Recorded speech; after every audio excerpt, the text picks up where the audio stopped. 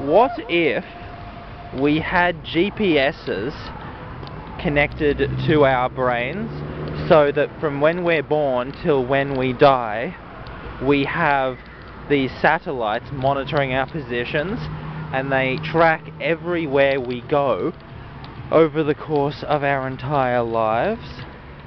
And then you meet someone, you meet a stranger and you become friends with them and you decide to cross-reference your two GPS records.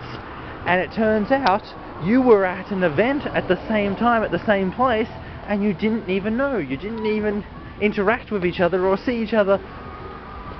And yet you were there at there. And yet you were there.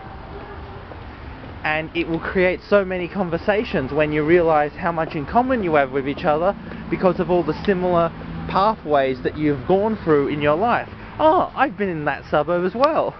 Hey, do you know that train station? I sure do. I think that the idea of having GPS data to monitor the entire history of where we walk from the cradle to the grave would be a massive improvement on our human experience and uh, yeah I don't think there's anything else more to say about my amazing idea. But you could just tell them where you've been. I know that, but you won't always be able to remember everywhere you've gone.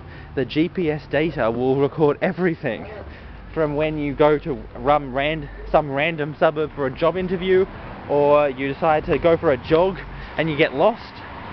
Hey, you got lo- you got lost in this park, so did I. But I did it in this year, and you did it in that year. Wow! But how long would it take you to go through all of the data? Well, you would have to get a program which automatically cross-references the data to see what you have in common. But considering how much data there is, the program would probably take a few hours to run.